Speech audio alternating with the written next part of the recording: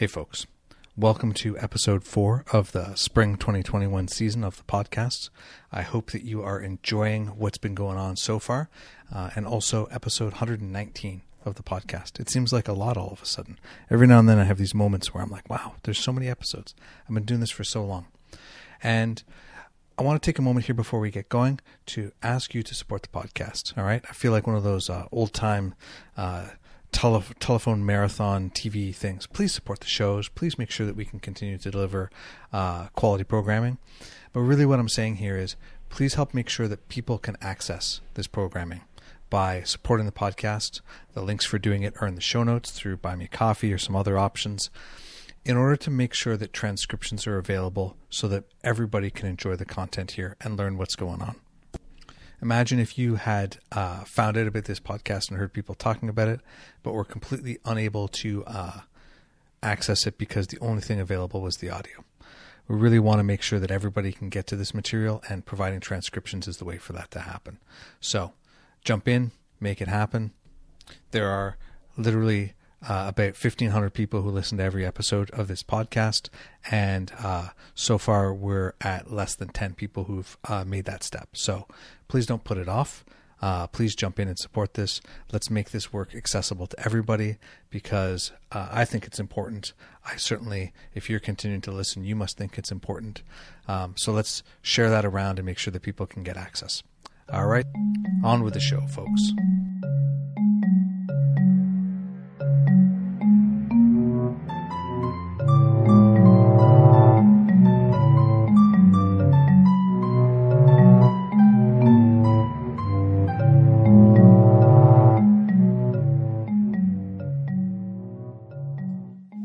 Hey, folks. Welcome to another episode of The Hermit's Lamp. I am here today with Stacking Skulls. Uh, Stacking Skulls is Fabeku Fatunmise and Aidan Wachter and myself, Andrew McGregor.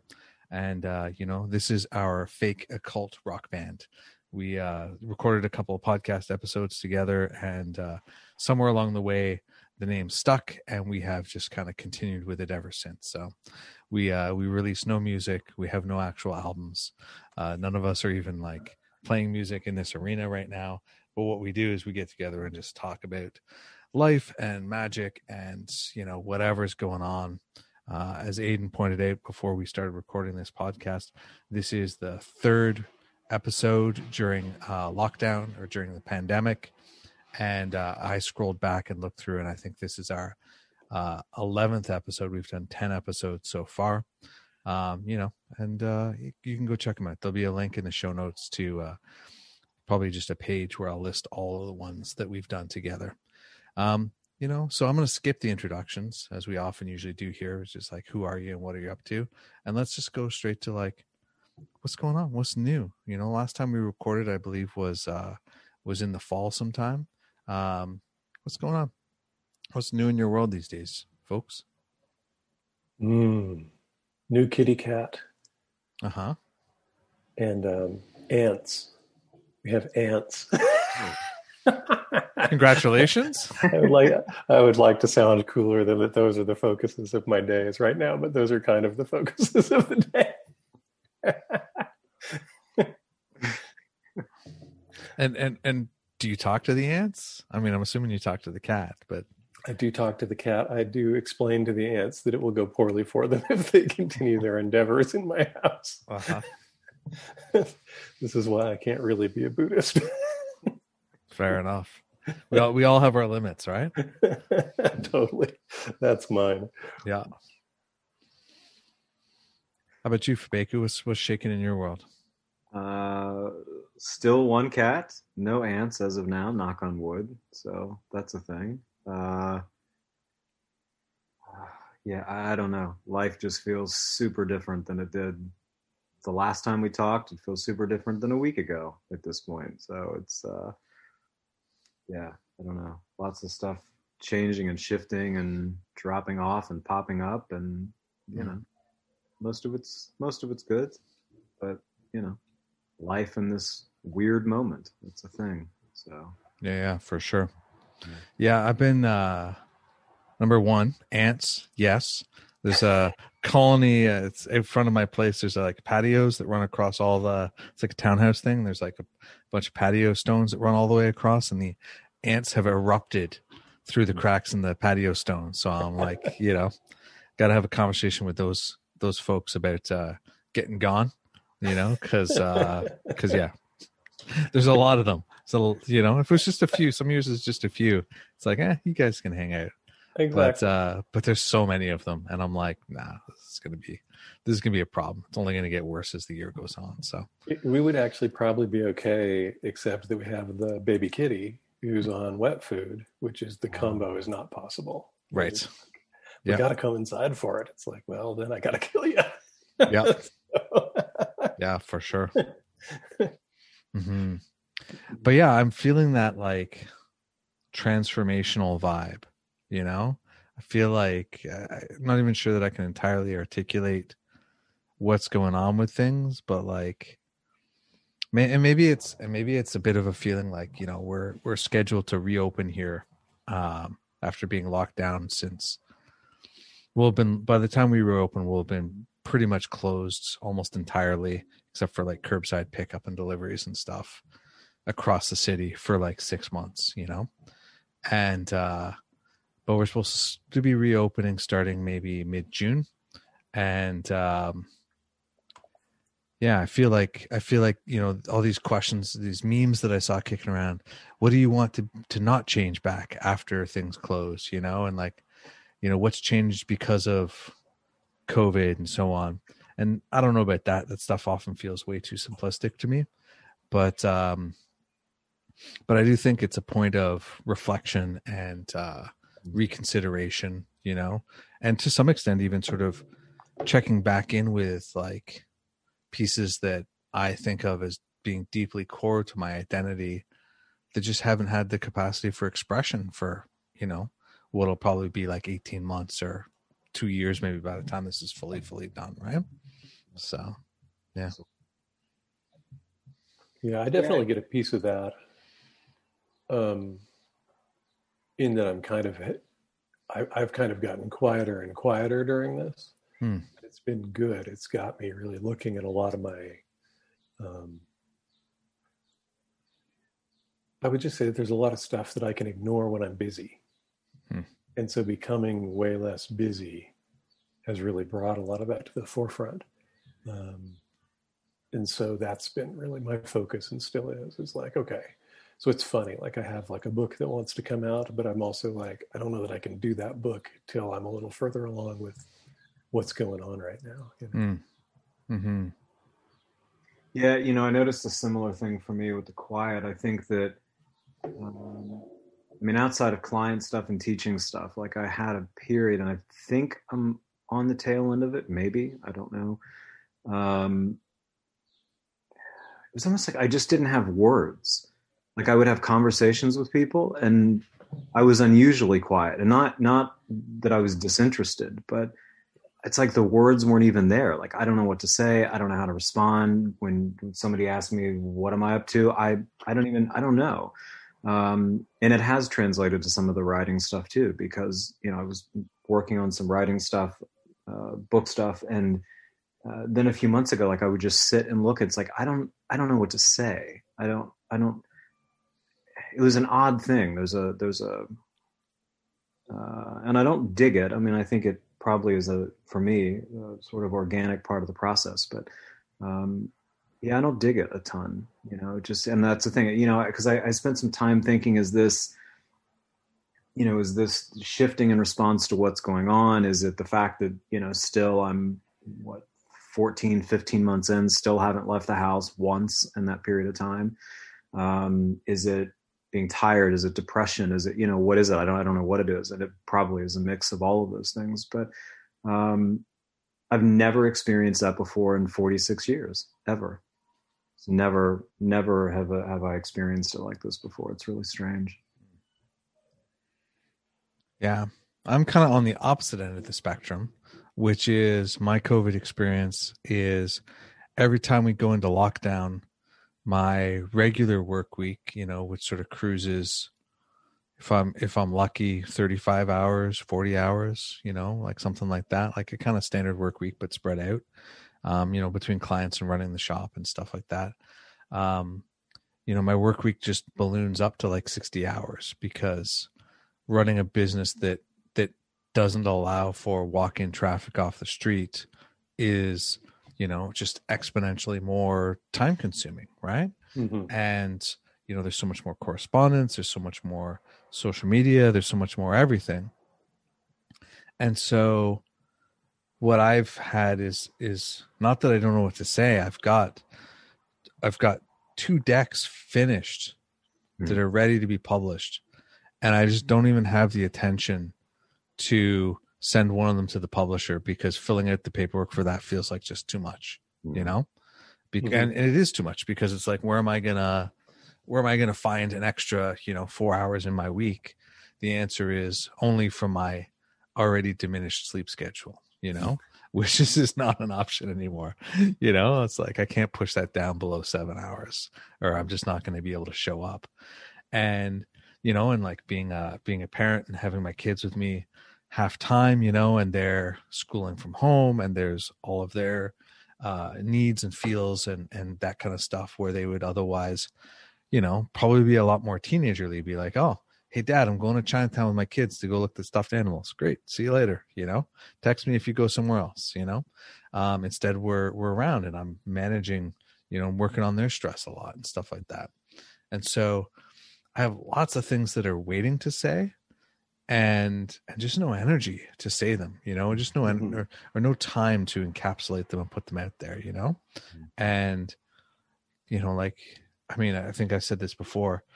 I was going to launch a Kickstarter for my uh, Bacon Wizard Breakfast Oracle that I made uh, back in end of March of last year, right? Like it was just all synced up, had it all ready and whatever. And then it's just, I was like, oh, now, now we're locked down, you know? And then like, I was like, well, I'll do it in October, you know? But then the kids didn't go back to school. And then I was like, oh, well, maybe I'll do it. I'm like, I'm not even going to kickstart it anymore. Maybe I'm just going to get a publisher. But even just that process, you know, mm-hmm. and yeah, and so I'm I'm curious, especially as I become like more and more focused on what my time is about these days and what I what I want or need my time to be about. Um, I'm like, well, what's going to be different on the other side of this? You know, what's when the kids do go back to school in September, hopefully, or you know, once we open up and I can you know have more staff doing stuff and less me doing stuff. Um, am I am I going to have the attention for those things? You know, um, or or has there has their time passed? You know, I don't know. It's confusing. It's unclear and confusing to think about. You know. Yeah. Yeah, I definitely. It is a weird thing. I've I've started two different books, uh, and got the same way distance into them. Like got like a quarter into both of them there and it's like nope this is not the one that's happening right now um, so it is a strange it's a strange moment overall energetically i think yeah. and it's also it becomes more i think the thing for me is i'm always trying to produce stuff that's helpful and so like the the last book was really easy it synced up really well like this is going to be really helpful for the time that it was mm. so i kind of changed my schedule around it and got it out at the beginning of this, more or less, or in the middle of it. But um, yeah, it's it's it's interesting because I'm not really sure how to get out the stuff that I think is helpful right now. Hmm. Um, I have stuff that I'm interested in that I think would be overall useful, but it seems like we're in such a strong transition point that I would like to be able to get something that's more specifically, mm-hmm. um, you know, not just only relevant to now, but uh, will kind of serve the community that reads my stuff now. Mm-hmm. So it's an interesting little conundrum there of like, what what are people actually dealing with, and do I know anything that's useful there? Right. Um, do I have anything to share that's useful there? And I'm not sure yet. So. Mm-hmm. Yeah, you know, I went I went through a similar thing with that because I was kind of full steam ahead on this book on uh, sort of this weird uh, audio visual magic stuff, and I mean, it's it's uh, one of the things I love the most. And I got to a certain point in it, uh, I don't know, at some point last year, and started to realize, yeah, I, this is interesting, but I don't it's not as functionally useful I mean, it's not that there's not practical parts, but it was like it was exactly what you're saying. It's like, oh no, this is not the thing that people need right now. This is, mm-hmm. you know, let's revisit this in a year from now or two years from now and see where that is. But in terms of, because I, I, started thinking, if, if people had this in their hand, does this help them navigate what they're dealing with day to day? And it was like, eh, not really, not not in the way that that feels important now. And so I just that project is just kind of shelved for the time being. Right. You know, at some point, hopefully, I'll get back to it because I'd love to. I'd love to share some stuff about it. But um, yeah, it, it, exactly that. It just didn't feel like this is the most meaningful, relevant, needed thing right now. Yeah, I've been talking to a number of folks that are are kind of also having that same experience, and um, you know, I self-publish, and you work with Revelore, um, and one of the things that that is interesting seeing with the folks that are actually working with the bigger publishers is they're having this happen with projects that they're committed to on timelines. Wow, yeah. And they're really struggling with it. Yeah. You know, a couple of folks that are having that issue. Yeah.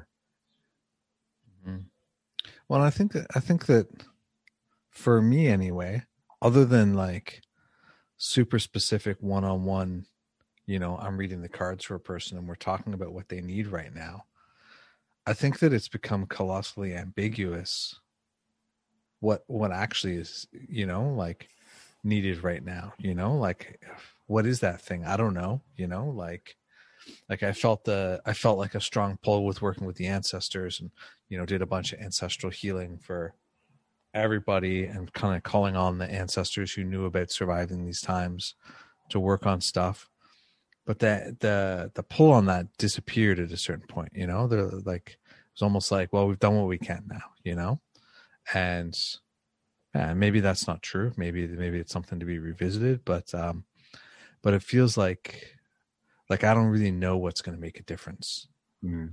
anymore. You know, like are you know, and, and certainly for me, I feel like all that's left is like you know the last the last push to what I hope is the finish line.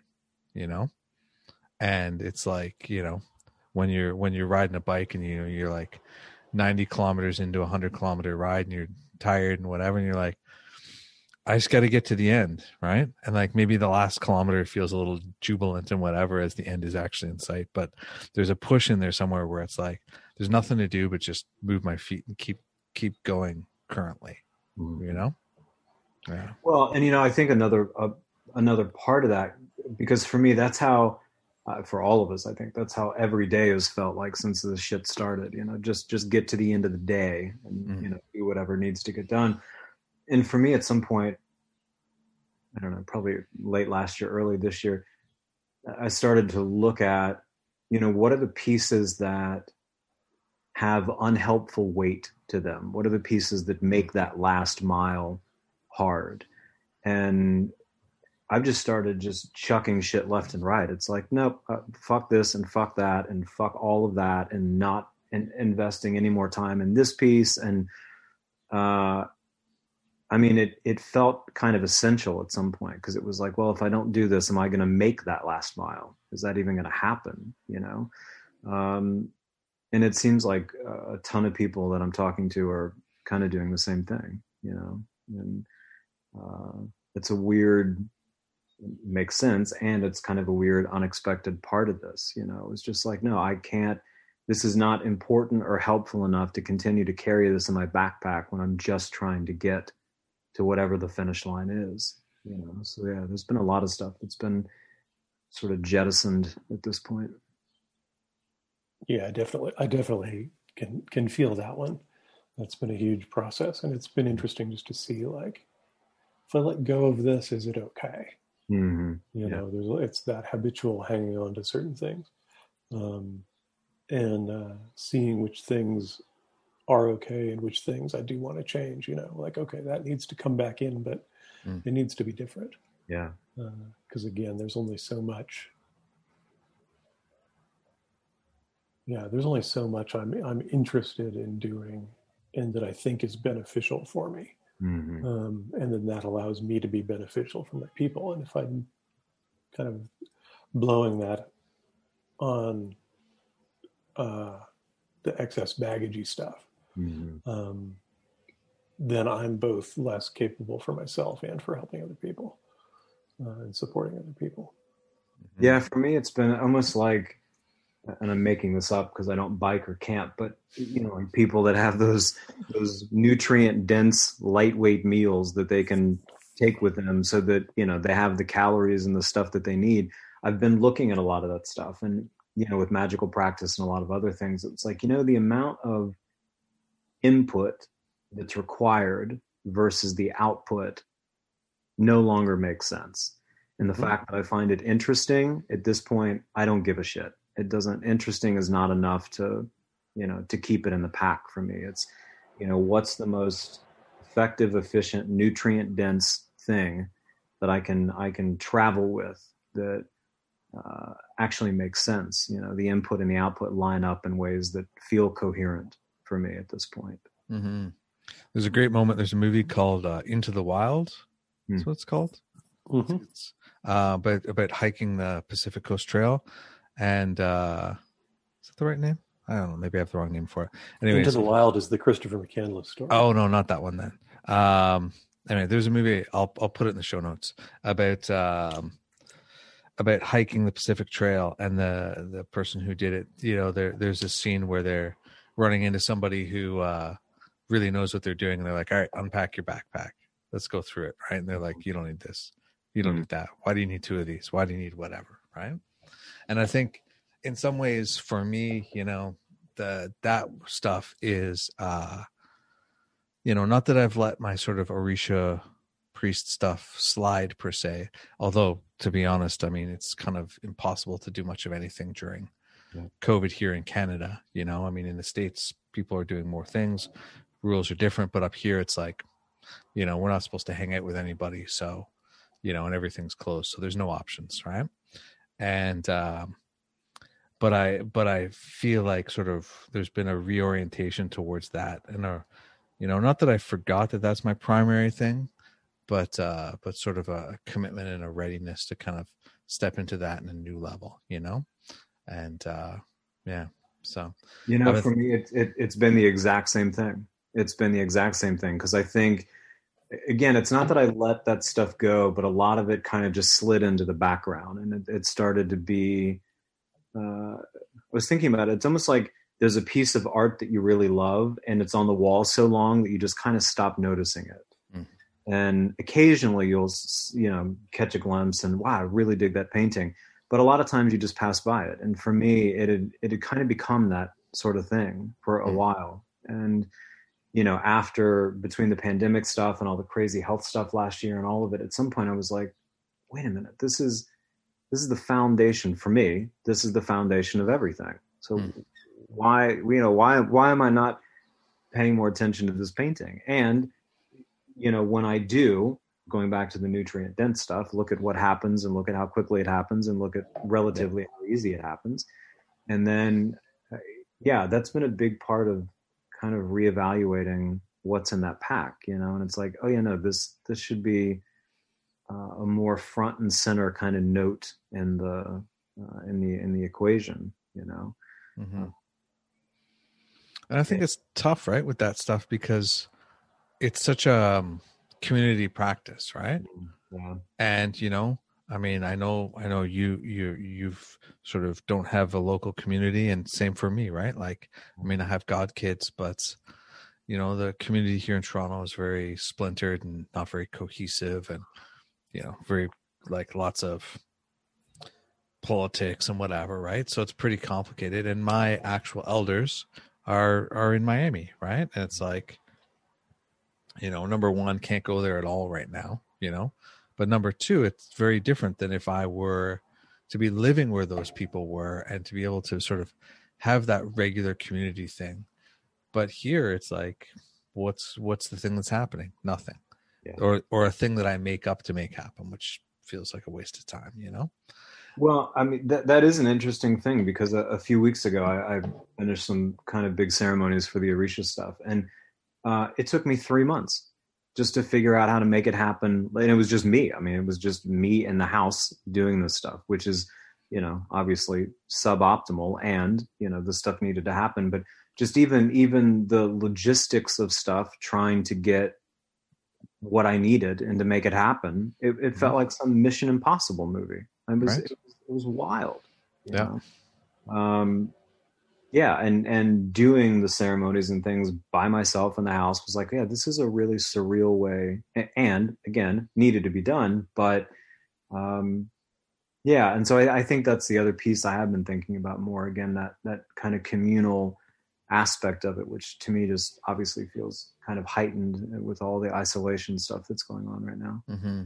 yeah for sure yeah, it's complicated right mm-hmm. and it does highlight for me like you know how how the rest of this like because i have i have like two practices right i have my religious practice which is only for people who are engaged in that right you know and then I have my uh, practice of what I do with clients, right? Which is, you know, spirit driven, but not Orisha stuff, right? Because from my point of view, if you're not if you're not in the Orisha tradition or in a Orisha tradition, then I'm just like, then I'm not going to do anything along that line. You know, that's uh, it's it comes with, from my point of view, obligation and the need for uh, an openness to long-term relationships and, and other things that lots of people aren't looking for when they're looking for magic right? They're just like i need i need your help getting this job. I need you to make this court case go away. I need you to whatever right?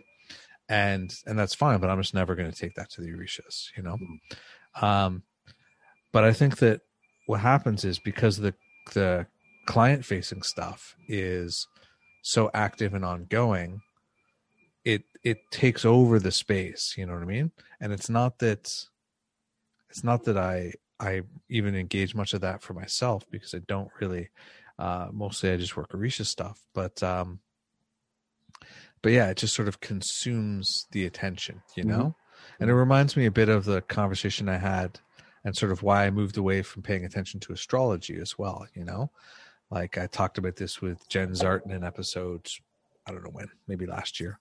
Look it up if you want to hear hear my longer reasons for moving away from astrology. But the short note is, I found that it was taking up my attention in a way that was diverting me from the core practice that is the actual relevant core practice for me. You know? Yeah, absolutely.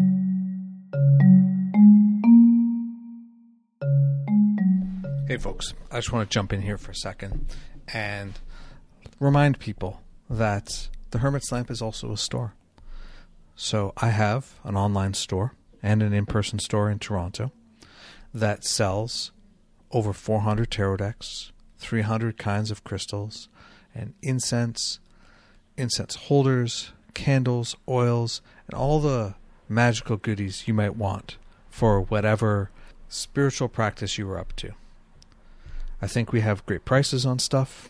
Everything is sourced to the best of my ability to be authentic, and we offer uh, pickup or in store shopping when it's not COVID in Toronto, and we offer delivery just about anywhere in the world.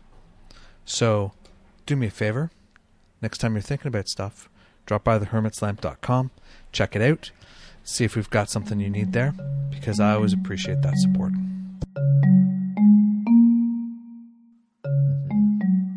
It's that makes sense. I mean, I I did this process that I started a couple of years ago, but I actually completed it.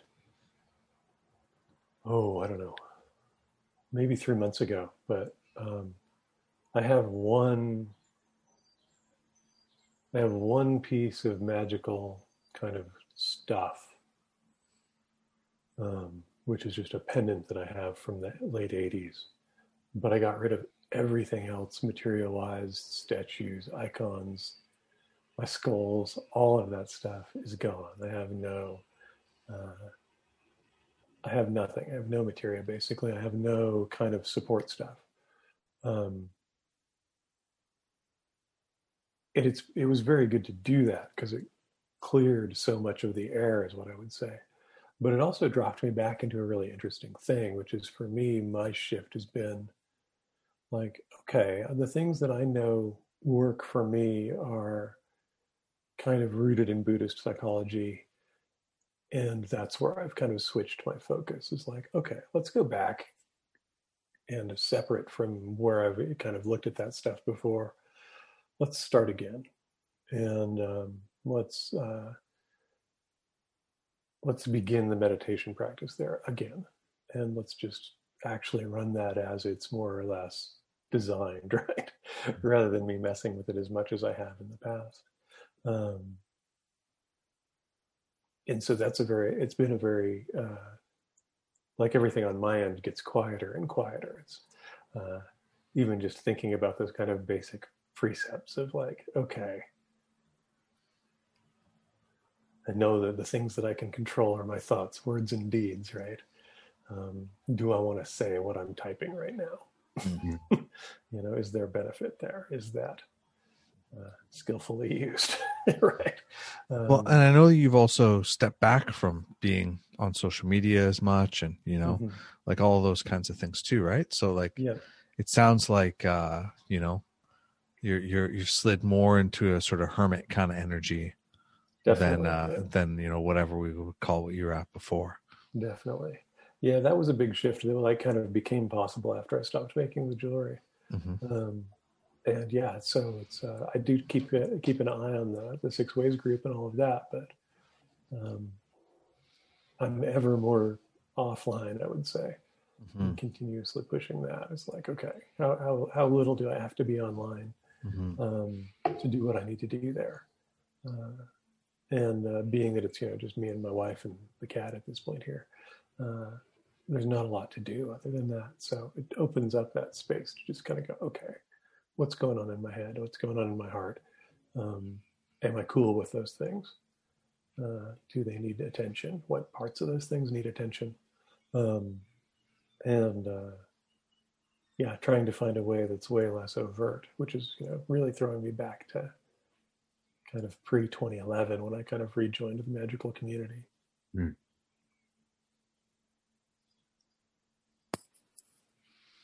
Yeah. I think it's I think it, that sort of attention on what's going on inside is so important, you know. I um a few people had sort of recommended um somatic work, you know, and uh, I had sort of really interesting. So one, I started working with a local practitioner that a friend of mine knew, and uh, and that's been very interesting and very very beneficial. And two, I was noticing that I was having these huge bodily reactions to mm. what was going on, right? Oh my God, we're going to be locked down again. And my whole like body would just be like, ah, fuck, right? and, um, and I was talking about it and peer counseling about it and like getting support and whatever, but like there's this other level of reaction, right, that was happening. And I please don't take any of this as testimonial or recommendations that you should go do herbal things. Please contact your doctor and blah blah blah. Full disclaimers here, right? Okay, folks. Um, do your research. I am not a medical professional.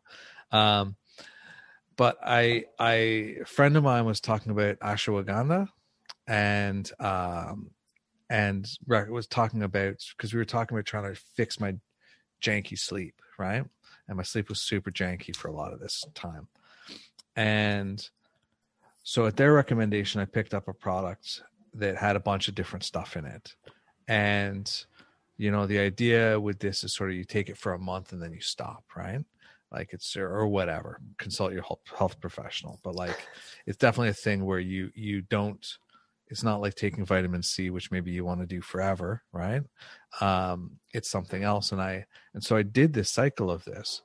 And what I noticed in conjunction with, you know, because I also started the somatic work during this time, is what I noticed is that my bodily reactions to stuff were completely different.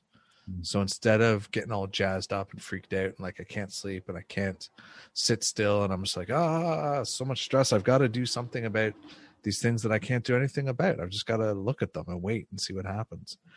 And and I noticed that it just leveled all of that right out. Um, didn't really fix the sleep, although the sleep got better when I stopped, which may be related or maybe not. Hard to say. Um, you know, and now I'm probably I don't know six to eight weeks on the other side of that, and even though like all sorts of super stressful stuff is going on right now. Um, the stress of it is completely different, and the bodily reaction to it is quite different. And so I think that that learning ways and revisiting ways of sitting with the body and sitting with what's going on and so on is just super helpful, right? And I think that for a lot of people, um, I think there's this point at which we can keep talking about stuff, but so what? You know, like, you know, we can talk about it endlessly. And you know, not for everybody. Like people do need to digest things and so on. But but there comes a point that's like, okay, well, what next? How do we move forward with this? Right. And you know, I'm pretty damn clear about all my issues, my baggage, my history, and all those kinds of pieces. And there isn't a lot of value that comes from continuously revisiting that territory anymore, you know? And so it's very interesting to kind of have such a a profound experience in a completely different, you know, approach. So yeah. Yeah, you know, for me, uh, that all makes a ton of sense. I think it was in early January. I reached out and did some online therapy stuff for a second because, uh, again, I was having really kind of intense stress response, body reaction stuff. And every day I just felt like I am about to snap. Like I am going to snap into if this shit keeps up. And uh, for me, the kind of conventional therapy thing was not super helpful because, again, talking about it was not what I needed. And at one point, when I was talking to the therapist, I said, listen, this is a body thing I'm talking about. This is not a cognitive thing. And I'm like, oh, wait, shit, I'm doing the wrong thing. And so uh, that's when I jumped into some somatic stuff, which helped a ton. And the other big piece for me is it was all of this kind of pending ritual work stuff, the Orisha stuff that needed to, to be done. Because I woke up the next morning after that and felt 80% better. Mm-hmm. And at first I thought, oh, well, listen, I'm just relieved that I got it done because it took forever to coordinate and it was just a lot to do and it must be that. But since then, I've, I've consistently felt way better, way way better, and it was immediate. I mean, it was. Yeah. You know, I feel like the the somatic stuff kind of knocked it down a couple of notches so that I didn't completely fracture into pieces. But uh, you know that that ceremony piece, it was it was instantaneous for me. Well, I think I mean, you know, the thing that thing that for me that makes total sense about that, right? Because definitely I had, you know, had a reading with my elder that sort of set set a different tone for me as well around a lot of stuff, right? And you know, I think that one of the things that that is deeply true of my experience and maybe yours too, right, is when when you're a priest in these traditions, the orishas are not external things, right? Yeah. They they truly live within you, right? In a way that non-initiates you know, from my understanding, it just isn't that case, right? And so when when I got my reading and you know it came came blessings at the foot of Shango, right? Who's the crown, right? My crown.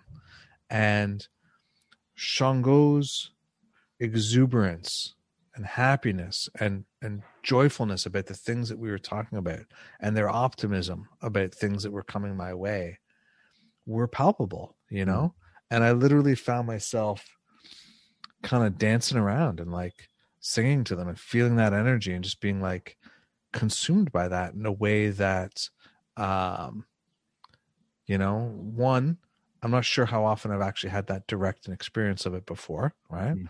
some of that i think comes from uh you know next this summer i'll have like 13 years of ocha right so mm. it settles in right they settle mm. in over time um and part of it's just you know maybe situational too right but um but you know it's like i've had i've had that experience during ritual had that experience uh you know in my ceremonial days i had experience of that when i was like you know would call up whatever and you know and have like a a full direct experience of it and whatever but it never endured in the way in which this is endured right?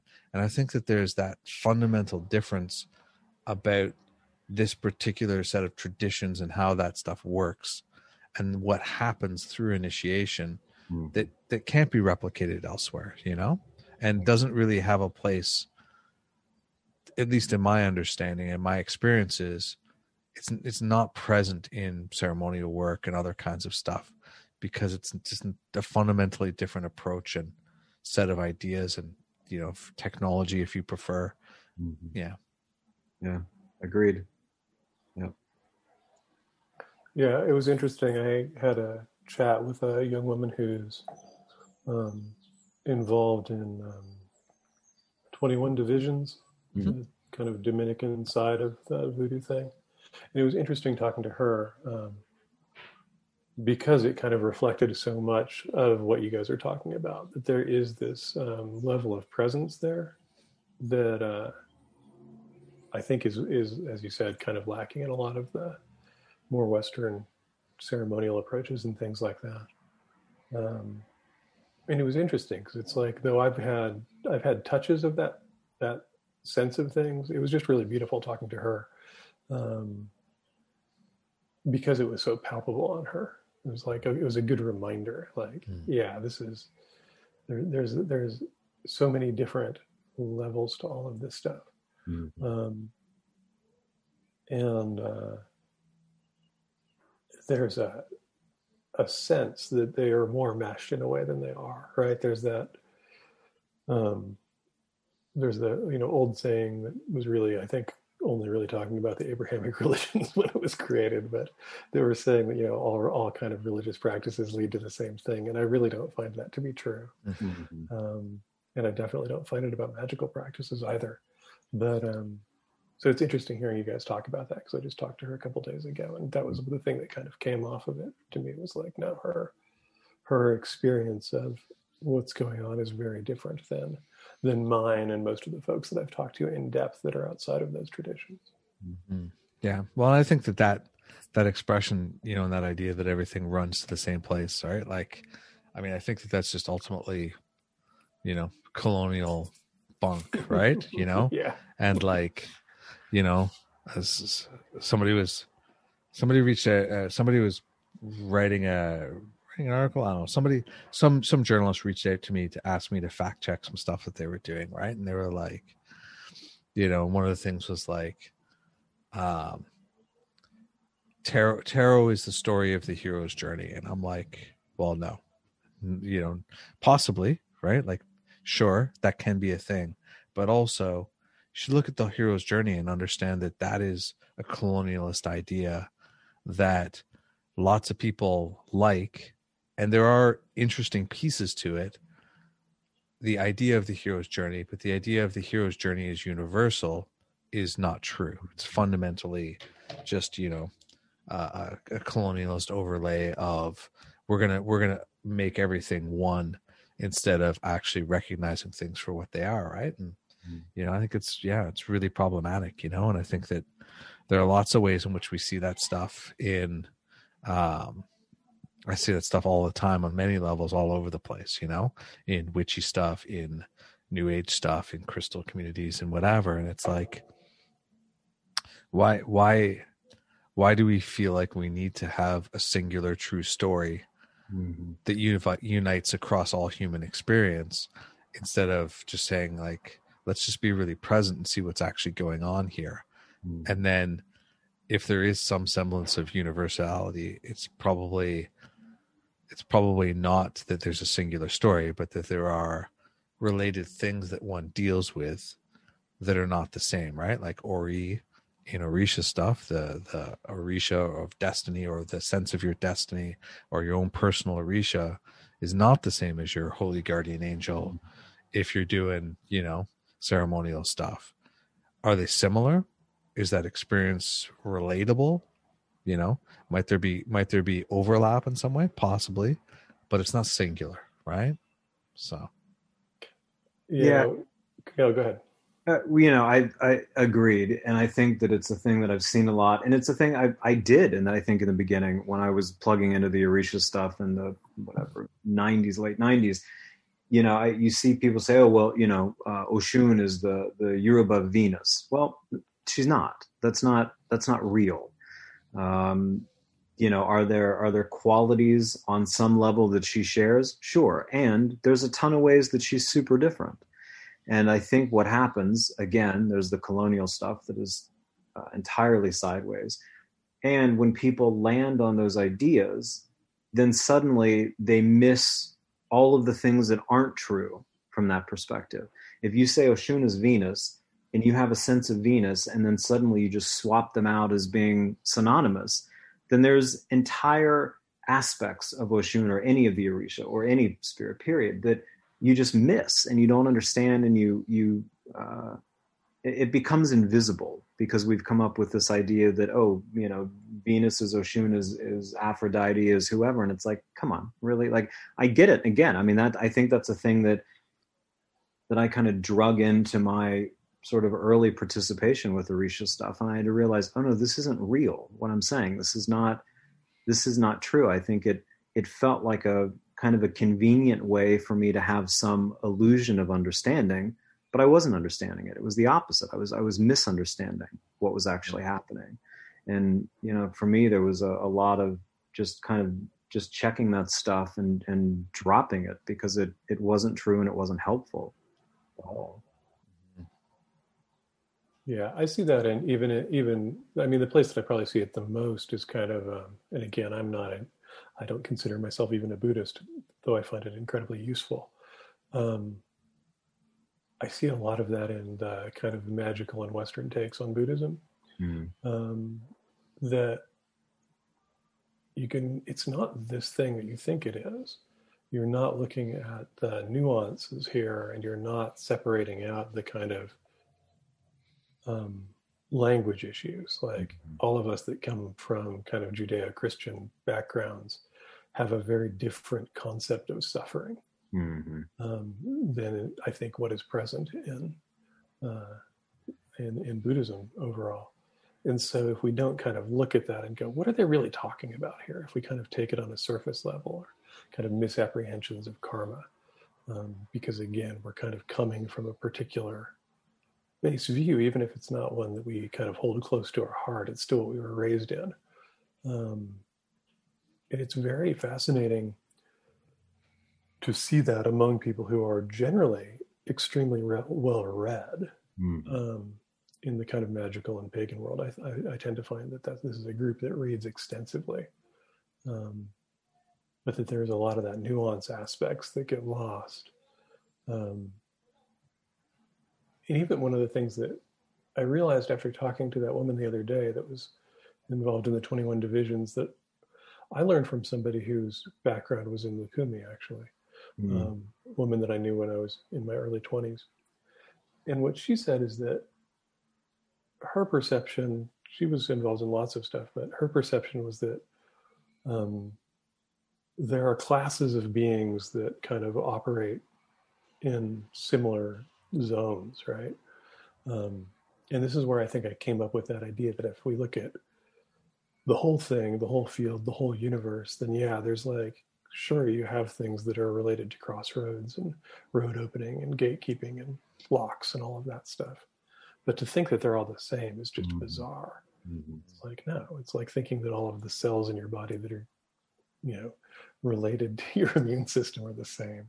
Uh, why would that be? it doesn't even mm-hmm. make sense right um, yeah it's fascinating yeah well and the the language piece is is a good point too because you know, i've been thinking about this a lot as i've been reading some of the, the sort of divinatory text from uh, Ifa practice. And you know i mean even uh, i mean just the yoruba language in itself but even when things are translated accurately it's like there's a there's a how to say this the the word means something different in that cultural context than it means to somebody outside of that cultural context. And i think that's that's a thing that's easy to get lost right? So you know when the buddhists are talking about karma or suffering like you said and i've got an image of suffering i read suffering and think oh okay that means this. So the buddhists are saying this about suffering. But are they really? Are they really saying that about suffering? Or is my under it's almost like instead of the actual transmission, we're embracing an echo of an echo of an echo kind of a thing. And naturally, over time, the clarity and the strength of that starts to fall apart. But then, then if we don't get that, then we start to kind of cohere around this idea of, oh, well, in Buddhism, suffering means this. And then, uh, you know, we're just kind of off in some weird sideways direction, you know? Mm-hmm. And, and that's the thing that I've realized as somebody that was not born in, in Yoruba culture, there's words and ideas I'm never going to understand ever that, that are part of that tradition. I mean, I can, I can ask people from that culture. I can work to kind of unpack my own echoey bullshit around it. But there's some stuff that I'm just never going to have that understanding of because I just come from a different background, different perception, you know. And I think that I think that knowing that feels pretty important, whether you're reading Buddhist stuff or Yoruba stuff or anything. Mm-hmm. Absolutely. Well, I think you know there's a, an expression which I love, which is uh, 10 minutes with a wise person is uh, worth more than reading a 100 books mm. you know? And i think there's something about that direct actual transmission right? That communication that comes and especially where it's particular to you as opposed to like just listening like i'm not talking about like listening to somebody you know somebody's ted talk or youtube video or whatever. I'm talking about actually mm. having a like a you know a wise person or an elder or a, a, monk or whatever put their attention on you for that period of time and you know i think that we could uh further embellish that and say you know it's, it's worth more than a hundred books it's worth more than uh, a thousand tiktoks it's worth more than you know whatever right because the the amount of other stuff that it takes to hit that point where it can disrupt that notion that we have of like oh yeah yeah this is this and they're like well, not really, actually. It's more like this and this and this. It's like, oh, cool. But it's super hard to, sorry for the ruckus, uh, super hard to to hit that in other means right it's one of the reasons why why i'm not interested in doing short form podcast right mm-hmm. i think that the conversations in the podcast take time to develop and i think that if we were to you know be like i might i might be more popular and have more listeners if i did a 20 minute podcast because people could just consume them and consume them and consume them. And and that's fine for what it is but i'm like i want to get to the core of things you know? I want to really dig in. And uh waiting for the truck to pass. I don't know if you guys can hear that but uh the window is open. It's hot here in toronto today and uh there's a busy street. Um but yeah just making space for that i think it's just so so important, you know? And I think that, you know, kind of like Aidan, you're doing where you're slowing down and listening to your body, your mind, your heart, your spirit, and all those things.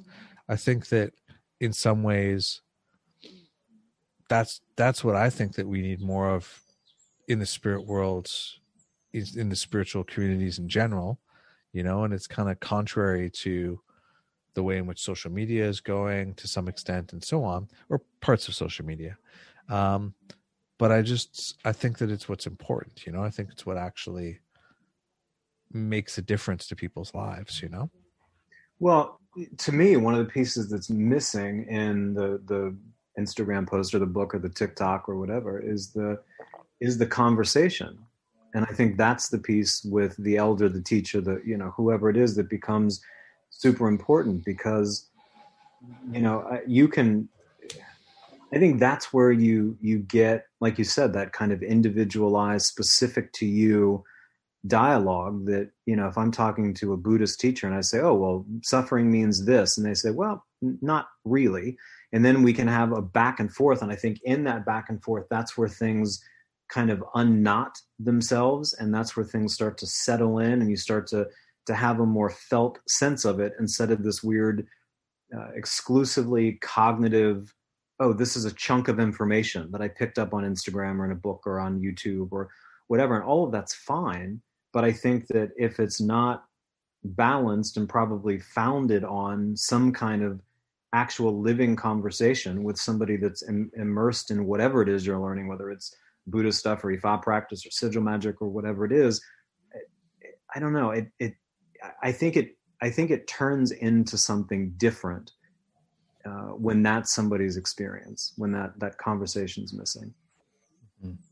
yeah i think in uh in the episode with uh jason miller that came out as part of this uh spring season of episodes we talked about um personal gnosis right mm-hmm. and I think that I think that you know it might be worth considering and I hadn't really thought about it this way until this conversation, but it might be worth considering that anything that isn't attached to tradition is probably just personal gnosis, right? And that might be really great. It might be useful. And like go listen to the episode with Jason Miller. We talked about like finding validation and what we might do and when we might share those things and, and all kinds of stuff. And it's not that, you know, like Aidan's work, right? Which is you know comes from a personal experience and and, and through the books and so on and has a really great and powerful uh you know kind of application to people who are drawn to working in those ways. It's great. Um but i think that a lot of people think because they can uh read some books you know and i and i thought this too right? You know like my my work with enochian magic right? I I would reg- register it as personal gnosis now. You know, I didn't at the time, right? I thought I was tra- tapping into the true universe or whatever, and and in some ways, I think that I did. You know, and in some ways, I talked to people on and experienced shared experiences around those and so on, which point to that deeper level. But I think that there's a lot of stuff where people, um, and myself historically too, at times, um, mistake that personal experience for being you know universal and sort of inherently true and and i think that things that are more replicable things that are tied to tradition and so on are are much more likely to be universally true or universally applicable versus these personal experiences which you know we've really we really need to sort of scrutinize on some level and i think that we benefit from scrutinizing that before we share them and put them out there and stuff like that. Mm. Um,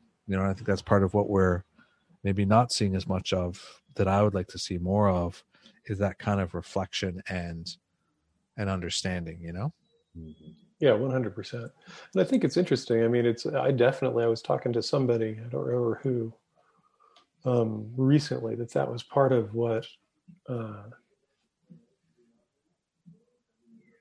what really informs uh, particularly six ways but um, for me was this realization that the vast majority of folks that i knew who were struggling were the folks that weren't drawn to a tradition mm-hmm. um, which makes sense to me because i had that same experience um, and so it is you know uh, i'll get periodic people sending me hate mail because they think i'm anti-tradition it's like no i'm just not in one um, mm. and so i'm speaking to the folks that are also not in one yeah uh, it's not that i don't think that that's incredibly potent and powerful mm-hmm. um, and not to, and obviously and i hope it doesn't come across this way to folks who are listening because i know aidan and i know each other so there's yeah, like totally. it's a non-issue between us but for folks listening i'm not saying you need to be in a tradition mm. to to to do stuff i'm just saying that in the absence of tradition the the onus to sort of be more conscious of what you're doing and how you're thinking about it and to sort of maybe test or look for proof or whatever is probably a lot higher. Maybe it's absolutely, absolutely, and that's kind of what led me out of kind of group group practice. You know, most of my group practice was either around OTO, some witchcraft groups, and um, then chaos magic groups, and that's really what led left me out of that. Was like we so don't even have a same base level language that trying to do this kind of intense group work on levels that I was interested in just didn't make sense to me anymore. It's like, no, I'm better off taking this home where I can really kind of interrogate what's going on and uh, then seek out people, you know, uh, that I know that I can bounce stuff off of if things get wonky or if I'm not sure what's up, who knew me well enough to be able to read me.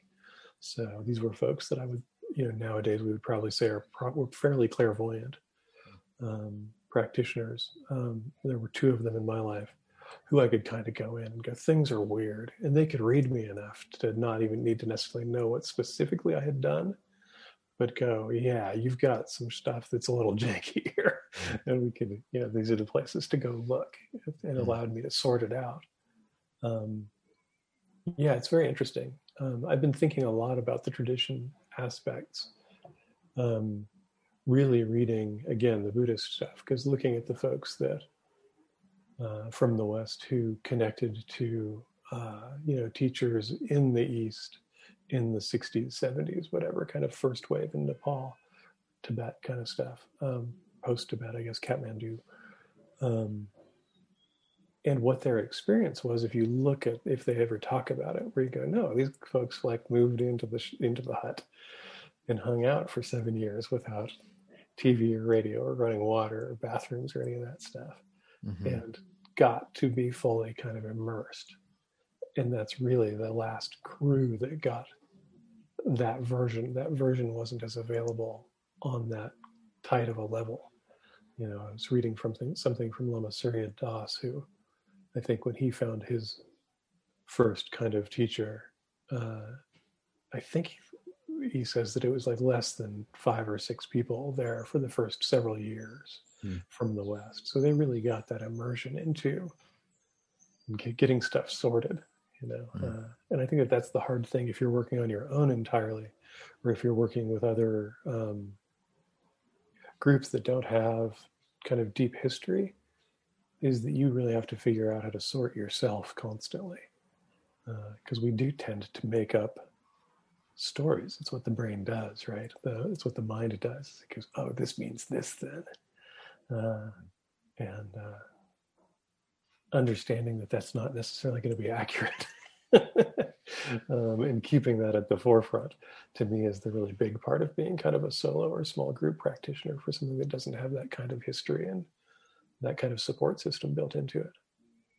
You know, one of the ways that I've started to to look at the differences between because for me, I went from chaos magic to Ifa practice. I mean, it was kind of the, the you know the extreme ends of things, and I think that when I think that when you're a part of a tradition, you have the benefit of uh, almost like so. The, there's two people that are trying to navigate through the forest, and on the traditional end of things, there's a path that's been created that enough people have traveled that you know it will get you from one end of the forest to another.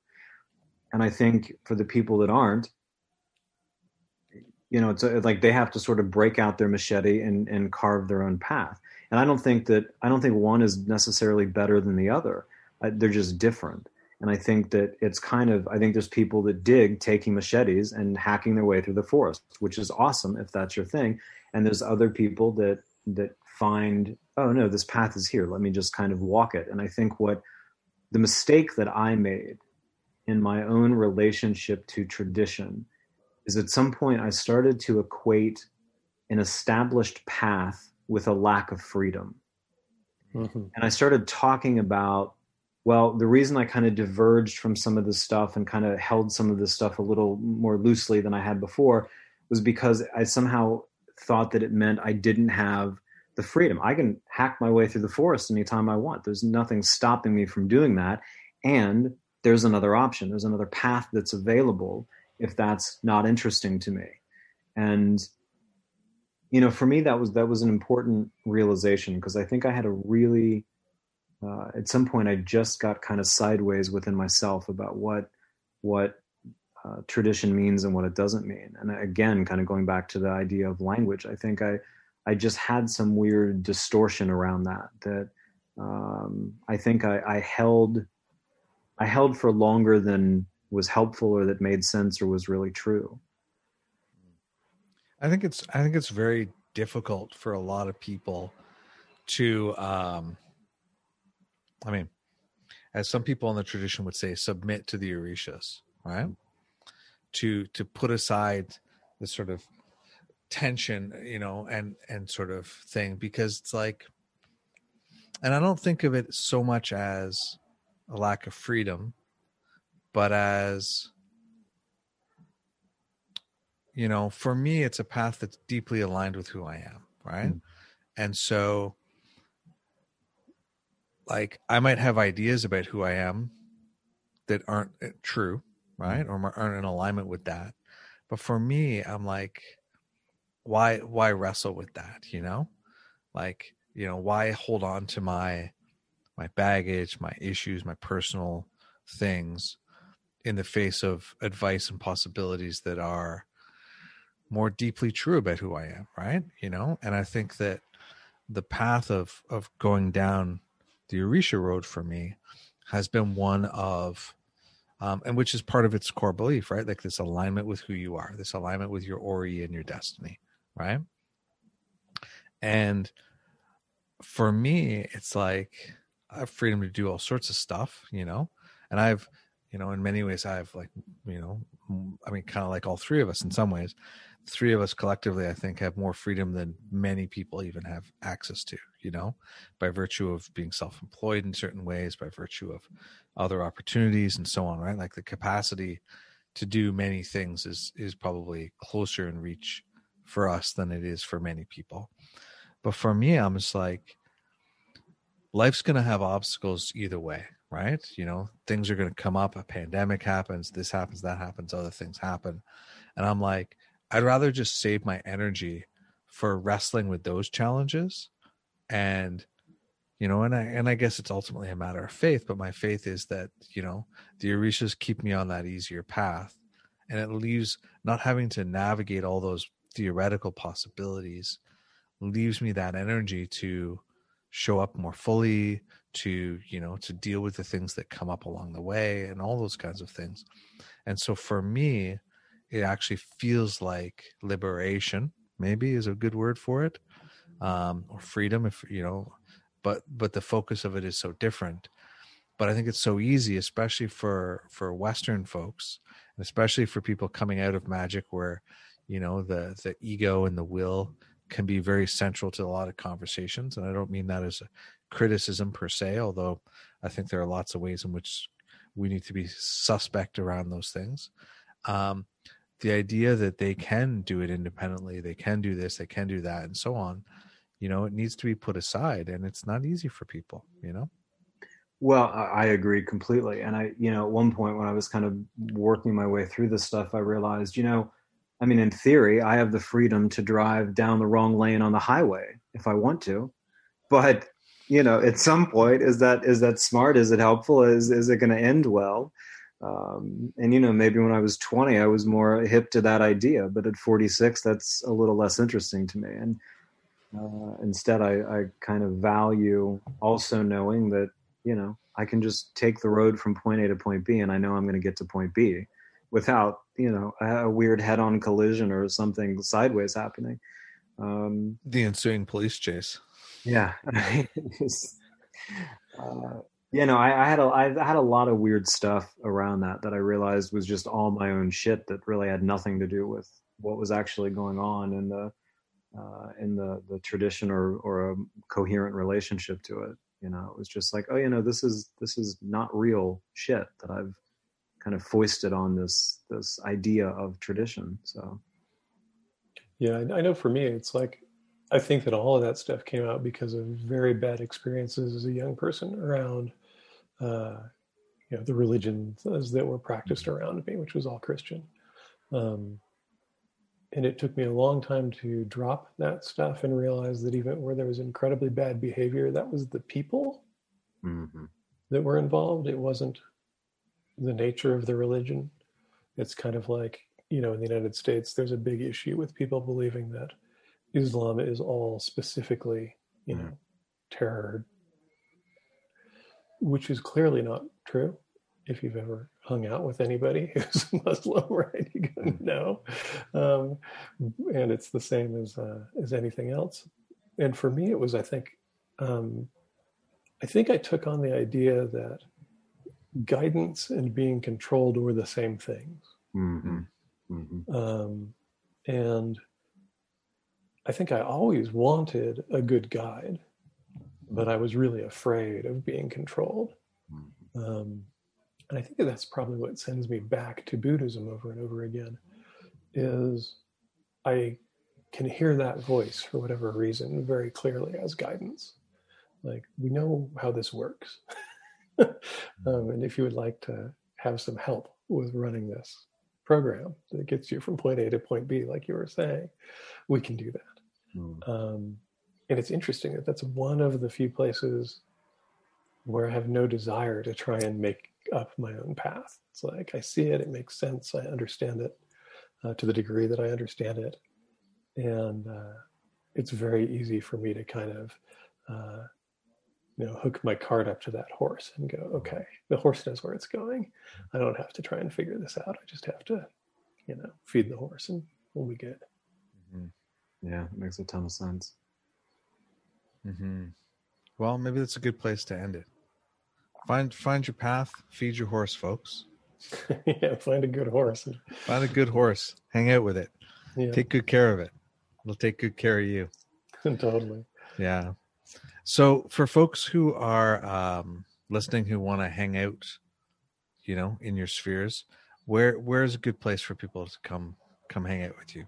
Aidan, where should people check in if they want to partake of your wonderful offerings and things? Um, AidanWachter.com has links to, out to everything else, but I'm on Instagram lightly, Facebook lightly, except that there's a six ways group that uh, is kind of folks dealing with my work that I try and um, chime in when I have something useful to, useful to say, but it's mostly really for the folks that are doing the work.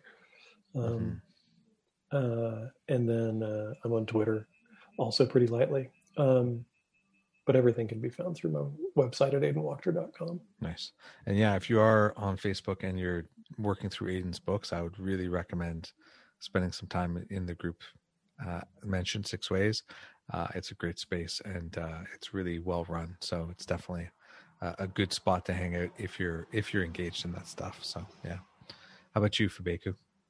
Uh, Fabeku.com. I'm on Facebook and I'm, uh, Aidan said, very lightly on Instagram.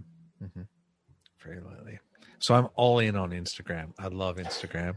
If folks if folks want to actually like engage with me through social media, get on my Instagram. It's the it's just I'm at the Hermit's Lamp on I'm at the Hermit's Lamp everywhere. Um, but yeah, uh, you know, Facebook and whatever. I'm I'm on all those places, but but less so. But Instagram is my true love. Uh, I think that yeah, that conjunction of imagery and words is is just so ideal for me. Uh, although we'll see if the extending in, introduction of video ruins it forever. We'll, we'll see. um, and of course, you can uh, check me out at thehermitslamp.com uh, for my store, uh, you know, where I've got all the magical goodies you might want and ship them everywhere. So if you're listening, we can hook you up with all sorts of great stuff. Uh, and for all the other stuff I do, it's there too. All right. Thanks for listening, everybody. Thank you for uh, making time to chat with me today, folks. I appreciate getting the band back together as always.